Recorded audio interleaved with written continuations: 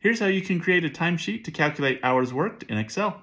You have a list with a column for time in and time out, and you want to calculate the total time worked. You can simply type equals and then reference the time out column. Press a minus and then reference the time in column. You'll notice that this gave an answer in time with an AM. To remove that, press Ctrl 1 and then delete the AM PM text in this box. Pull the formula down to get the other results.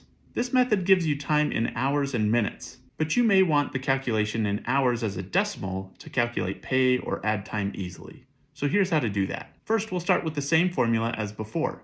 If we change this number format to a decimal, you'll see that we get 0.1 because Excel stores time as a decimal of a day. So this means that the time worked was 0.1 of a day. To convert this to hours, we can simply put parentheses around the formula and then multiply it by 24. Now you have the same answers as before, but in hours and decimals. Now let's say you have people who work night shifts and their work time crosses midnight. As you can see, we get a negative number with the formula that we had. One workaround is to include the day and time in the same cell.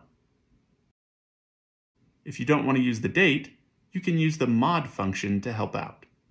Type equals mod and then use the formula we've been using.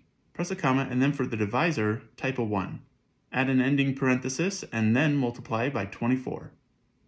The last thing I'll show you is if you want to factor in a break or lunch. Here we have a timesheet with columns for time in, lunch start, lunch end, and time out.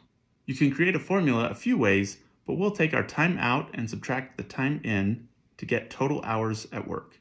And then we'll subtract from that the difference between the lunch end and lunch start to back out the time spent at lunch.